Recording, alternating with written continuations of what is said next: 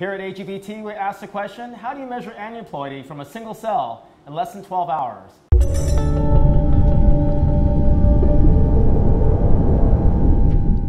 And to that end, Adam from R&D, you had a poster you just recently presented. Is that correct? That's right, Dale. And what can you tell us about it?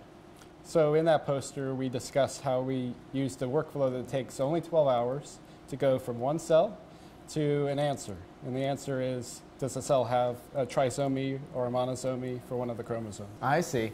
And as far as that particular workflow, it's a lot faster than the existing uh, sort of ion torrent workflow. Is that correct? That's right. We had to make some steps to speed up the workflow Mm-hmm. and to get it down under 12 hours. So is that a different template prep then? That's right. Instead of using the One Touch or the Ion Chef, here we're using our isothermal amplification technology. And what can you tell me about iso- uh, thermal amplification? So the great thing about isothermal amplification is it's a very fast reaction.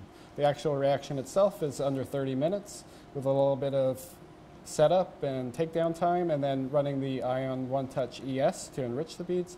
Takes under two hours altogether, less than 30 minutes of hands-on time. That's great. And then as far as the analysis, did it use the latest version of Ion Reporter we've been hearing about? That's right. We use Ion Reporter version 4.4 and that's able to very quickly and automatedly call the aneuploidy events. You can review the data and um, generate reports from it. I see. And how was the response to your poster today?